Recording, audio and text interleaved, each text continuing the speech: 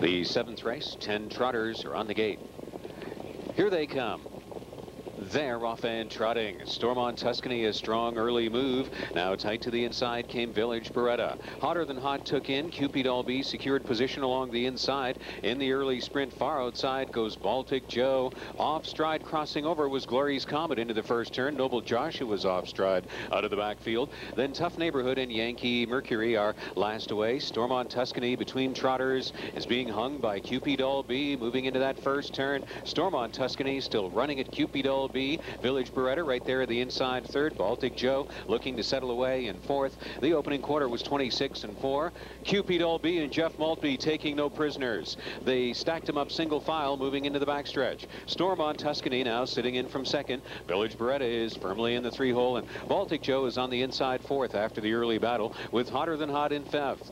In the backfield sixth is still fresh is Lookout Victory. She is just ahead of Tough Neighborhood. Uh, third from last Yankee Mercury then Noble Joshua and out of contention Glory's Comet. They battled out the half in 56 and 1. Cupid Albee, Stormont Tuscany, the first pair into the final turn. Three eighths of a mile to go. Village Beretta sitting third on the inside. There's Baltic Joe staying in from fourth. Lookout Victory is up and at it. A second over fifth is going to get cover from Village Beretta at head stretch. Moving in the backfield are hotter than hot to the flank of Tough Neighborhood, Yankee Mercury, and out of contention are Noble Joshua, the distance trailer, Glory's Comet.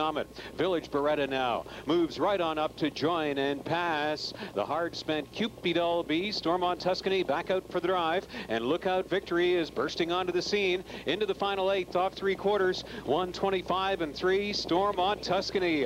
Coming to the front Lookout Victory's got a last kick coming. Waples is looking to time it. Here comes the mare. Lookout Victory. Lookout Victory. Sticks her nose first onto the wire over Stormont Tuscany. It was tight for show Village Beretta with Yankee Mercury in 154 and 3. It looks like lookout victory, but it's a win photo posted.